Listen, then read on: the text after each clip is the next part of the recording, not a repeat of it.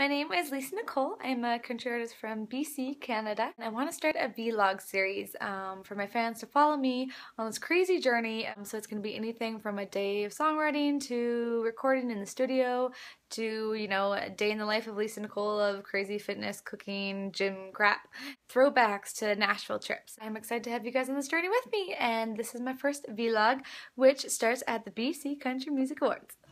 I just had a rehearsal for the BCCMAs on Sunday and it was amazing and I cannot wait. Mm.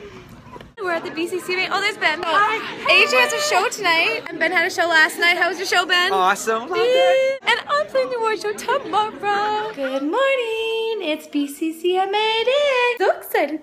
See you later. Hi. Jody's doing my makeup. That's Jody. we just finished the makeup. It makes my green eyes pop. And the pink matching the pink. We're gonna do a run through with the brand of the song and.